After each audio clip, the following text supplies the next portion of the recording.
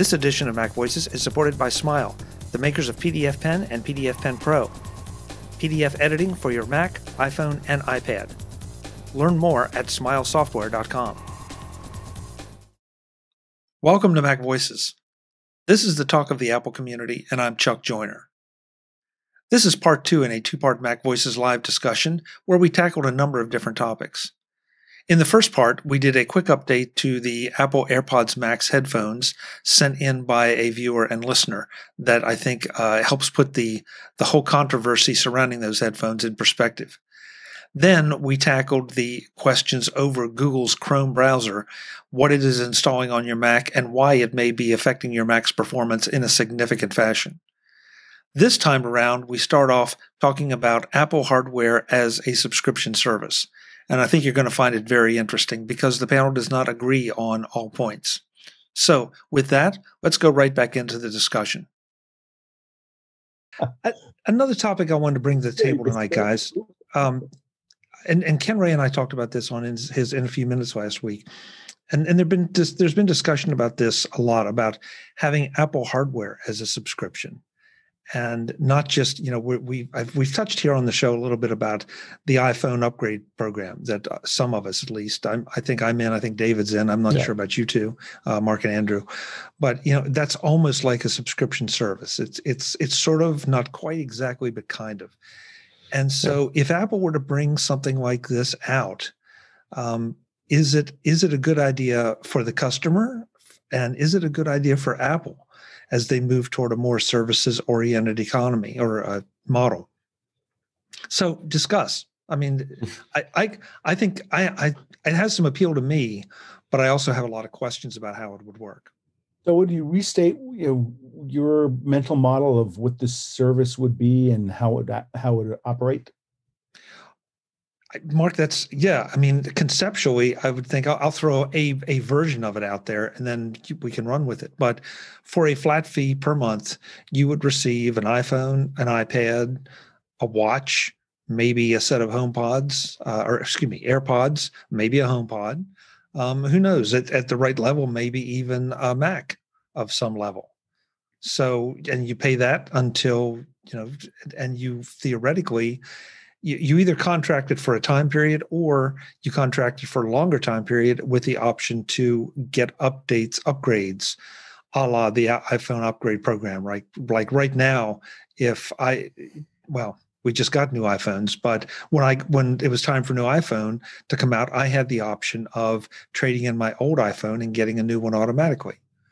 Mm-hmm. And with a, with a little bit of change in my payment, my monthly payment because I, I changed models this year. But if I decided to downgrade to a much lower iPhone, I still could I could have probably dropped my my price if I wanted to, uh, my subscription price or my um, program price.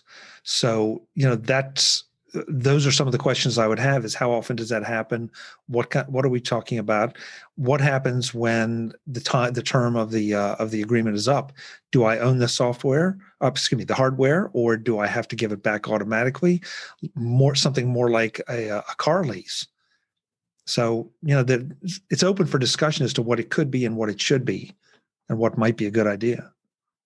Well, I mean, I think Apple's going to have to really deter if Apple were, were to even consider it. You know, you know, um, talk about the iPhone upgrade program. That that's more of a financing thing than anything else. It's not really. I mean, yeah, technically, yeah, I'm renting my iPhone each year when I go and upgrade it, but, which I like that convenience because I I like to be the early adopter and get the next iPhone each um, each uh, each year. Uh, but it would all it all have to be of some value to Apple and being being being of value to for a subscription service. Um, you know, when you trade, you know, their their their, their trading programs for trading in uh, older products is actually getting is is actually getting better too. They're actually offering a better value on a lot of uh, lot of upgrades. I mean, I'm seeing uh, people turning in Mac Minis for three hundred thirty dollars for a for a machine that's only two years old, and I, I think uh, someone was trading an Apple Watch for two hundred dollars. So so they so they have that piece of the business too of, of trading in old equipment. So why couldn't they spin it over and have it as a as as a like you said a leasing or or a subscription type service where we would be just paying a flat monthly fee for all of our devices, and then after that year we could decide do we want to keep paying it or do you want to or do we want to uh, turn them in and then upgrade them to the next model. So yeah, it's it's really going to all depend on on on is it going to be of value to Apple in order for them to want, want to even consider it. Right, Andrew, thoughts? Um, I don't know how likely it is that Apple to do this, but I think it's it's some non-zero number. I think it could be on the books for Apple in the future. Um, I do have seen a lot of complaints from people saying that it's subscription fatigue like a, a lot of complaints about oh yet another app that is a subscription. But like you said chuck the iphone upgrade program that's essentially already a subscription. And so for those of us who are all apple anyway software services and hardware for for us i think it would make sense to have an apple one elite tier for something like that and so I think the idea is interesting. I guess we're all just trying to figure out is Apple going to do this and when or no? So I like, I don't know. Yeah. I want to welcome Frank back. I think he's got his uh, audio problems fixed. Frank, you made it.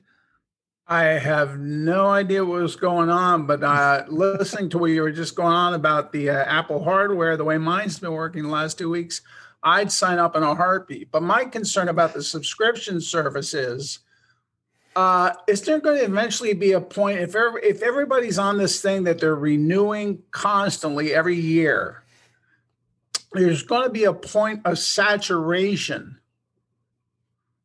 I, I sort of get the feeling it's like, what are you going to do with all these old iPhones? I know they can reuse some of it, but is is there going to be more phones than people at some point? maybe, Okay. maybe, but uh, but okay. So let's uh, let's go around uh, the table here. Um, okay, so y- y- you know, Chuck, you announced probably uh, you know the grand version of you know the every every every Apple device with a screen. Um, we can simplify it and just look at a Mac or look at an iPhone.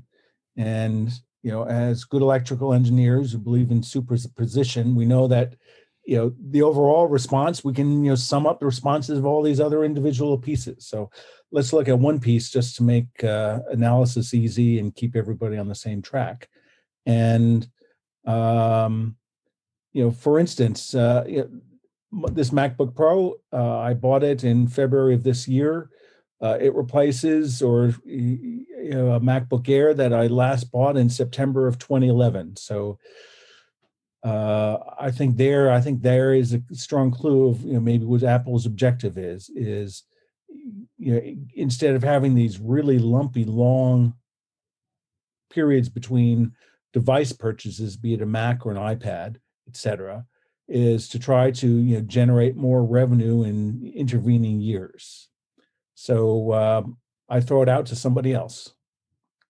Well, isn't, Okay, isn't the problem though is everybody keeps complaining now, and and well, I think it's just a nature of the beast is that everything is evolutionary instead of revolutionary.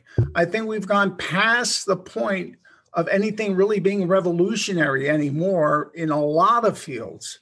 And so at this point, I see it as evolutionary. So I could see possibly having a subscription program for like maybe every three or four years. Because re- in reality, people only use what, 30, 35% of the power of their equipment? Or less, way less, probably. Yeah. Yeah. So Yeah, I'm just Frank, but- wondering. but I don't think it's it's necessarily. I mean, Andrew used an interesting term. You know, the the elite uh, version. Well, how about the Yeah. triple triple elite version for the people who want you know the the latest machine every year? But you know, I think I mean your point is well taken. I I think there there would have to be tiers here where you would have those of us that uh, really want and need the latest machines, and then you would Right. have the the people that are quite happy with three or four year old machines one of the I, I think mark to answer one of your questions um, or maybe it was frank's. I think one of the advantages here for apple would be that we wouldn't have people running 2012 machines and 2011 and 10 machines you know, because they would have an easy upgrade path and, and at least it, it's, it's a whole lot different to, i think to say we're, you're going to pay 30 40 50 bucks a month as opposed to drop you know 1500 to $2000 on a, a, Mm. a piece of hardware. You know it, it becomes a lot more palatable. And you know the subscription things i mean i don't know about you but it's simple. I always just say okay what what am i going to spend in 12 months on Mhm. this? Do the math. Multiply multiply by 12 gee that doesn't seem quite so bad then. And if i divide by or multiply by 24 it still may not seem so bad. So i'm going to go for the subscription Mhm. model and Mhm. you know so th- that's it there's so many different angles to this that i i think it's really intriguing as to as to what the benefit to apple would be versus the benefit to us You know, another thing that I just thought of, I didn't um, kind of realize it before. So we already have the iPhone upgrade program, but starting, I think it was this year, we now that we have the Apple Card, Apple has introduced special financing options for Oh, I yeah. think most or all of their products. So I guess you can kind of see that as a subscription because instead of paying so much up front, you're paying a monthly amount. And then after that, you get to keep it. That's a really interesting point, Andrew. And if I if I decide to sell back, as long as I get something close to the amount needed to pay off the loan or the the, the term, you know, then that does sort of sort turn into almost a an upgrade program. Mm-hmm. Huh. Yeah, Hadn't well, thought about it it exactly now. Um, you know, sort of, you know, they will they will buy back, and um, you're just looking at uh, at a recent example. Uh, again, just um, something we know and love is sort of the MacBook 16 inch MacBook Pro I have and and Chuck has, and you know, checking to see what the Apple uh, buyback price is. Mark, we lost your uh, audio. Zoom is driving everybody crazy. Oh, okay. There you go. Now you're back. Okay, am I back now? Okay, so Yeah. I was just going to say, as um, yeah, as a way to sort of back end into the subscription program would be, you know, I looked at uh, what Apple's sort of buyback uh, program is now. You know, thinking, okay, you get a device, you know, sell it back, and then you know, turn it over and get a new one. And you know, for making analysis simple, I used a device that uh, Chuck and I know. It's uh, you know, the 16 inch MacBook Pro. And I have sort of, you know, one of the base config models. Uh, he has one that's, uh, that's been upgraded on, uh, mem, I think memory speed as well as, uh, I know SSD and, uh, and DRAM. And if you sort of look at, you know, the initial, uh, purchase price, it's, uh, sort of, this is the base model you know, the initial uh, purchase price is um, uh, excuse me, is twenty eight hundred dollars, twenty seven ninety nine. You know, the trade, you know, the trade in value is one thousand five hundred thirty. This is this is through Apple, so you know, they're basically you know paying back fifty five percent of um, you know what uh, the original purchase price is. Uh, looking at this a little bit deeper, it seems that you know they at least for this particular model, and I think there's some elements of this that apply to other uh, other systems they do as well. Is you know they upgrade memory and SSD and then resell it, so it's at a you know, uh, you know they offer a discount at a higher you know effective uh, list price, and you know by so doing you know they really you know create a great deal that's a great margin sweetener and if anyone uh, is interested and their eyes won't glaze over i have a spreadsheet that i could show that could illustrate this point but um, the point is now that sort of the hardware business um, if apple it, it, it seems that at various times that uh, you know, they offer different deals and their prices are roughly analogous to what other companies like Gazelle, et cetera, have, which makes sense due to market forces, right? They're all, you know, competing for, uh, you, know, you, know, you know, previously owned used machines. You know, and sort of just Chuck and I passing some data points back and forth uh, via Twitter earlier today. It seems that there's like maybe a two to four percent variance depending on uh, the buyer and depending on uh, if you're in excellent or good condition of the machine. If it's if it's really flawed, that you know clearly uh, prices drop out considerably. You know, so looking at this, this might be a model that appeals to what Chuck and Andrew were calling the elite class. You know, people want to have a new machine each year. For doing this, this is this is really good business for Apple. Um, doing this, you know, trying to do a general uh, subscription where you can buy it, and if you think about modeling it after the iPhone, you, know, you, buy for 24 months. You can upgrade after uh, after 12 months. Um, that probably doesn't work for a lot of Macs. Uh, the reason is Apple will lose money. Uh, why? Because you know if the gross margin is less than 50 percent, you know since they're selling it you know for over a two year term, if you can upgrade after 50 percent, you know, half the term. Uh, you know, if you haven't recouped the manufacturing costs, which they won't if the gross margin is less than 50%, it just doesn't make economic sense for Apple.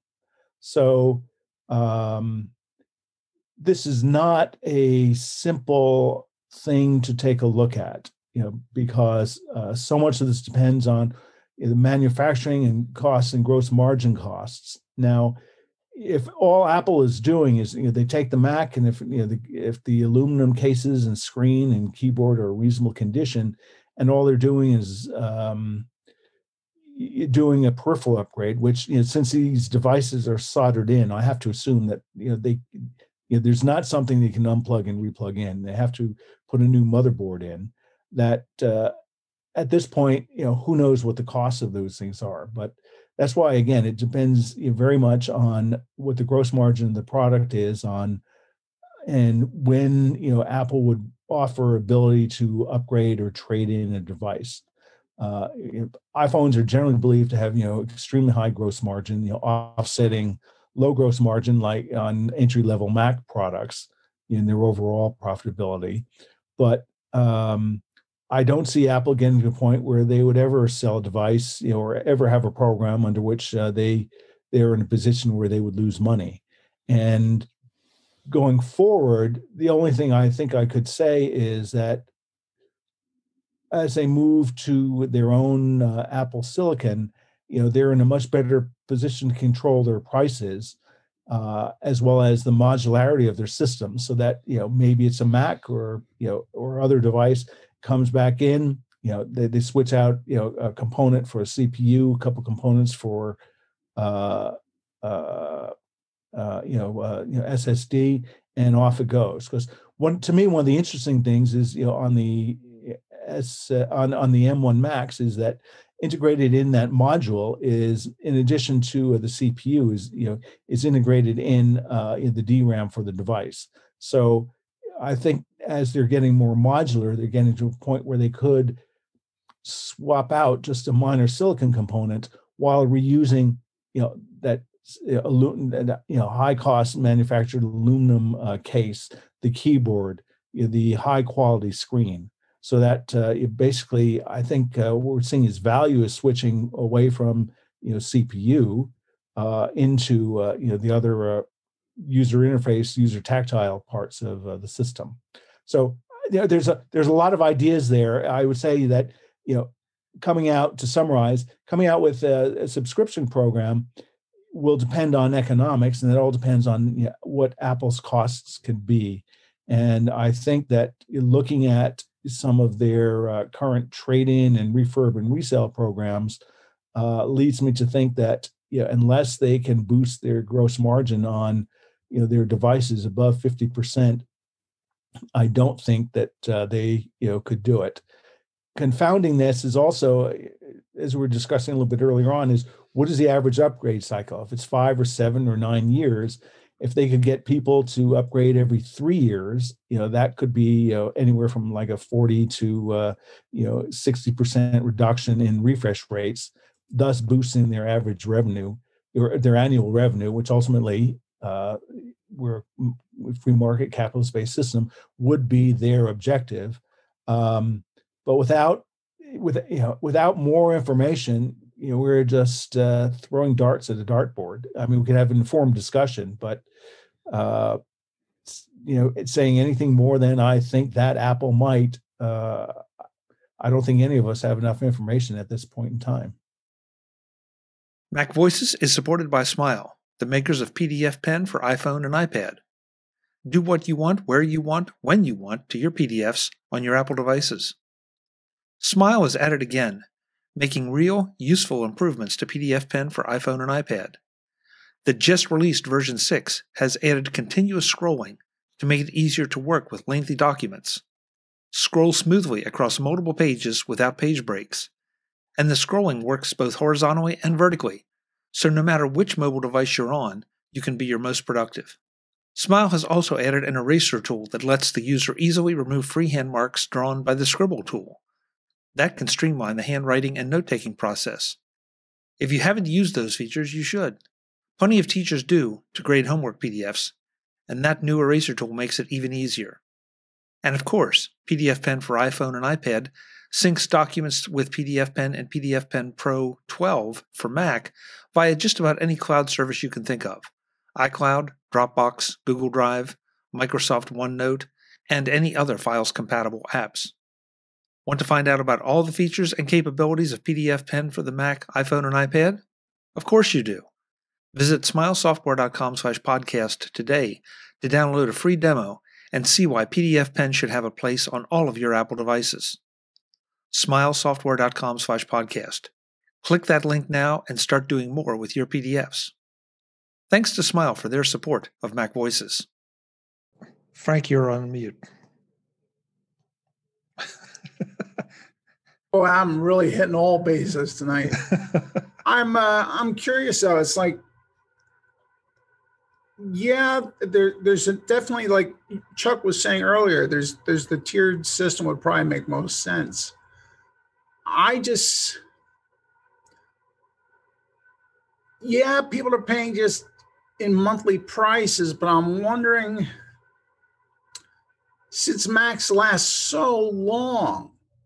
I, mean, I was watching a YouTube video tonight where a guy actually had Catalina running on, I think it was a 2010.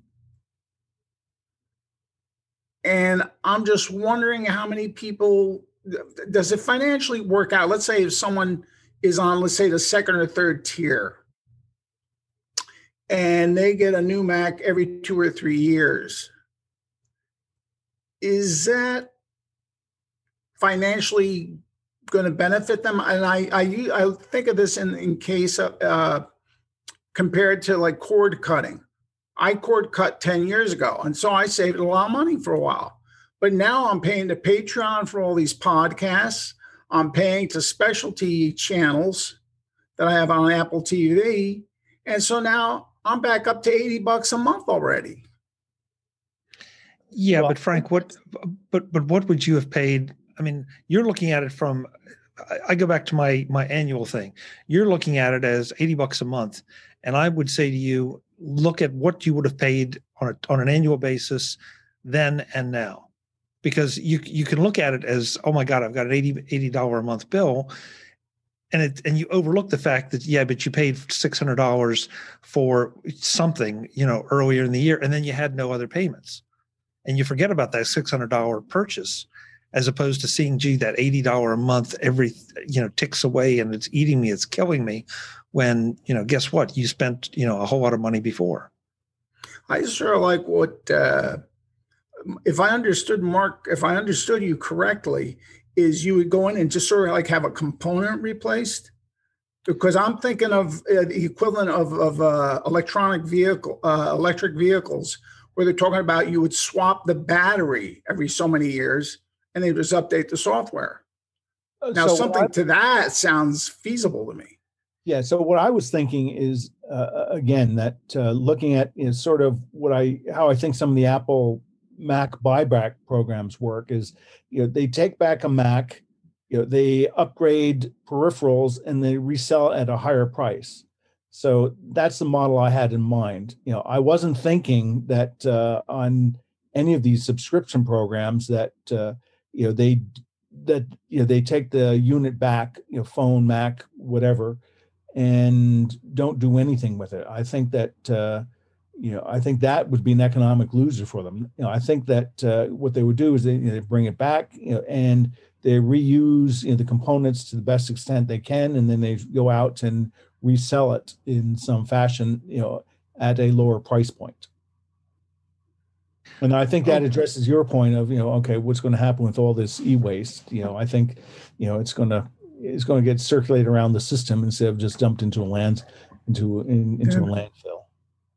And I David, think get in. I think the other reason is that I, I think again, just stated simply, I think the reason for a subscription program is it will allow Apple to uh, reduce the effective period between upgrades of something like a Mac or a phone from five, six, seven, eight, nine, ten years in the case Frank was just mentioning to something that may be you know, a three-year period or a four-year period. And we we can we can debate what the period may be, but effectively what it's doing is it's increasing uh, the volume of their you know, effective annualized sales you know, as measured by uh, recurring hardware subscription revenue. David, get in here because we haven't heard from you. Yeah, I mean, I, I, I again, I just go back to the subscription. Uh, the, this, like Michael just saying, you just got to, you just got to think, where is Apple going to be with this, with this value? I mean, I, I just, I, it's going to be tough. I think it's going to be a tough sell to, to see if Apple is even willing to do it. Um, I think there's just going to be some, just some tough, uh, tough decisions. Even Andrew mentions that you know, that's probably highly not, not very likely that Apple may even be considering this, but you know, with with bundles the way they have now, anything's possible. Um, but I just don't see it. Uh, I, I I would be kind of questionable about it, uh, honestly. I mean, I, I, like what I'm doing with my iPhone upgrade program, but uh, it's going to be well. It remains it remains to be seen to what to what Apple would do. And I agree with you. I, I'm not sure the economics work out, but I'm Right. willing to admit that I don't have all the facts. But uh, what I can see and estimate based on the economics of Intel-based Macs, I I don't think it's going to work out. I mean, you also got to look back. You know, uh, Apple's with the Apple Card. They, they've been very successful with the with with uh, with the with the Apple Card with uh, uh, uh, Goldman Sachs, and uh, they're doing financing for everybody. I mean, you could buy a Mac and get for two years. I mean, I, I think I've I've got my my Apple Watch on a two year plan. I'm paying like twenty five bucks a month or some some really low rate. I don't even think about it. So I Mhm. mean, if you look at spin it that way, you know, pe- people have the Apple Card. I mean, they're probably going to be doing it that way.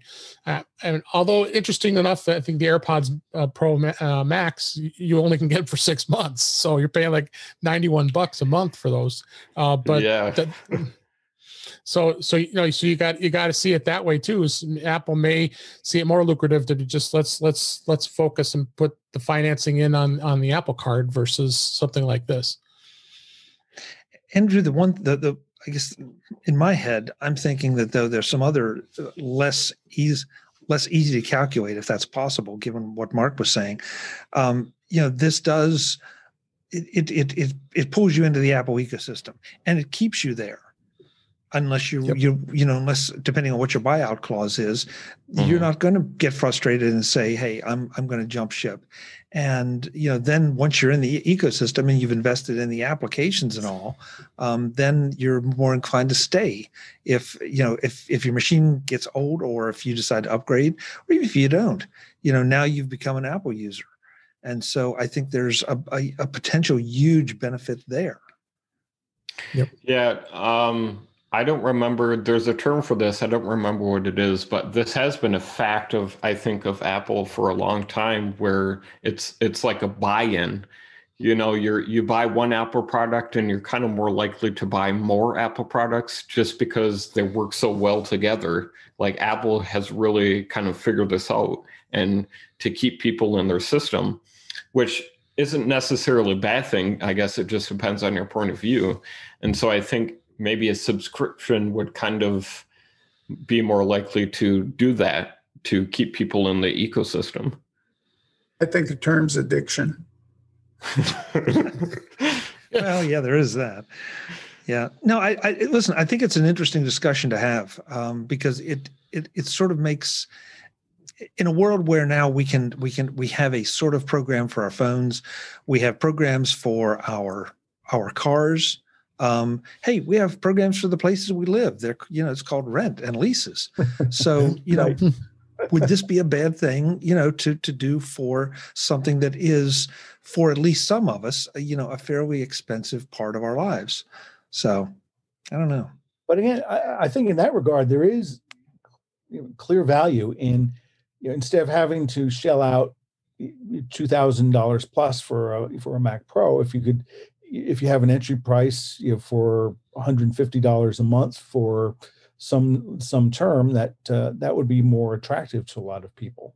And then at the end, oh, because it's only one hundred fifty dollars a month, yeah, I'll I'll re up. I'll get uh, I'll I'll get the uh, you know latest uh, you know version of the same machine. So by doing that, that will boost Apple's recurring uh, total overall revenues because they get it in smaller pieces on a recurring basis.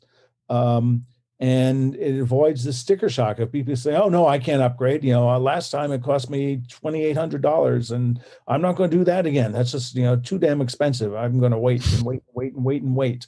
You know, and that's why they get you know five, six, seven, eight, nine year uh, replacement cycles. So um, uh, I, I, think I think at the heart, you know, yes, uh, as Andrew was saying, this is this is a lot about making you know people stick within uh, the ecosystem uh, and upgrade, but they also want to upgrade uh, the devices more frequently because you know there is a lot of benefit to you're running the latest and greatest devices and software. You get a much better experience than if you have something that uh, maybe can just barely run a version of software.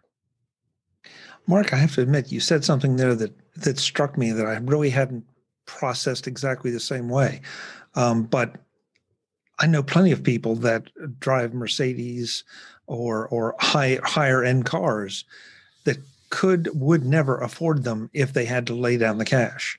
Mm-hmm. But because they can do a lease program, uh, you know, they're they're much more inclined to say, yeah, hey, because I can I can buy myself out of the lease for even less than the cost of the car. But you know, I don't I don't have to put down that sticker shock kind of money up front. I can just mm-hmm. you know hand them this minimal amount of money, and I've got my gratification of driving this vehicle. So that and and your other point too, and again, I hadn't thought about it exactly this, this way. That sticker shock the second time around, you know, they people either wait and wait and wait until something you know really happens and they can't recover from it or they decide hey you know what? I've got that, that there's that cheap little thing over here that has a screen and a keyboard. I think i'll go give that a try. And you know inevitably i think they they are disappointed in the experience and come back but you've lost them for that time period. Why wouldn't you just keep them in in in the stable if you will so i don't know fun fun discussion guys fun discussion yeah so we're the, at it yeah go ahead mark so, um, did anyone see uh, that movie Mank? You know, it was uh, on uh, on Netflix. You know, came I out. I started watching it. I didn't finish, but oh, there was there's this one quote in there that really struck me that I think is apropos of this, and it's. Uh, I think it was Samuel Goldwyn was talking about the movie business and saying the movies are the best business there is. You know, people give you their money, you give them mo- nothing. They come in and they walk away, and all they have is a memory. and, you know, it That's doesn't that describe the you know it doesn't that wouldn't that describe perfectly an apple subscription model yeah, yeah sort of yeah i guess i, I hate to, to, compare it to the movie industry especially right now but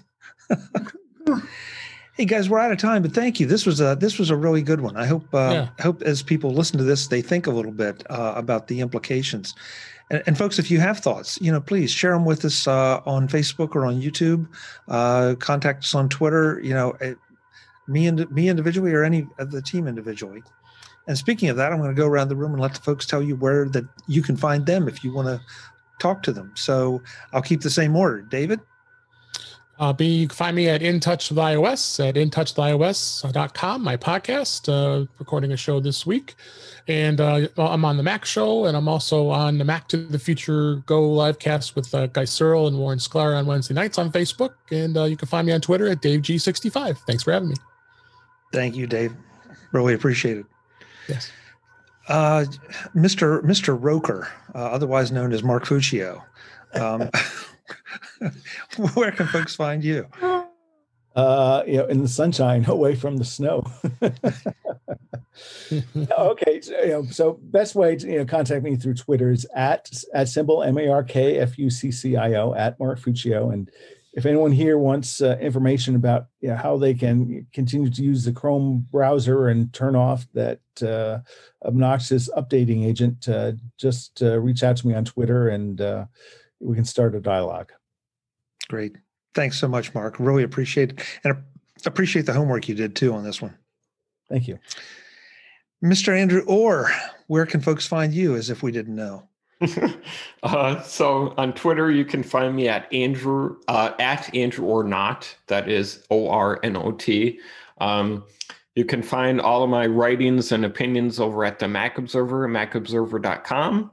And uh, Kelly Guimont and I, not only can you find me occasionally on our daily podcast called uh, the Mac Observer's Daily Observations, but Kelly and I do a fairly regular segment on every Friday called Security Friday, where we we talk about the security news of the week and also try to give people a practical tip of how they can improve their own security, like using a password manager, for example.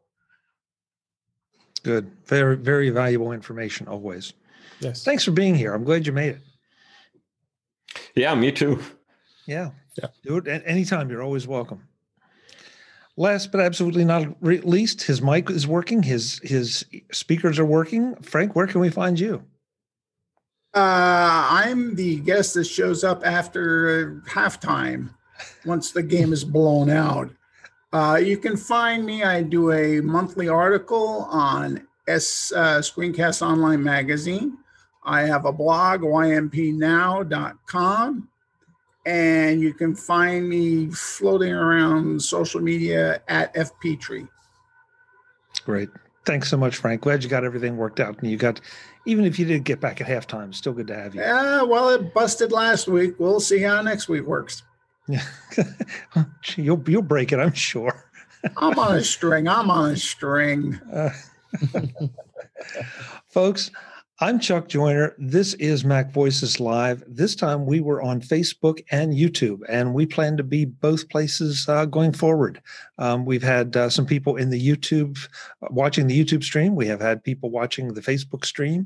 This is going to work out kind of nice. So uh, join us Tuesdays at 8 p.m. Eastern. Um, next week is a holiday week, but I still plan to be here. I don't know who will be here with me, but uh, I, I, hope you will join us then. And definitely uh, reach out if you have any thoughts or suggestions about the uh, the potential subscription model. I love the idea. Until the next time, and as always, thanks for watching. Visit MacVoices.com for show notes and to connect with Chuck on social media. Get involved in our Facebook group or like our Facebook page, and get more out of your Apple tech with MacVoices Magazine free on Flipboard and on the web. And if you find value in it all, consider supporting us through either our Patreon campaign at patreon.com slash macvoices or by making a one-time donation via the PayPal link on our front page and in the show notes of each episode. You will join these fine people who help bring you MacVoices.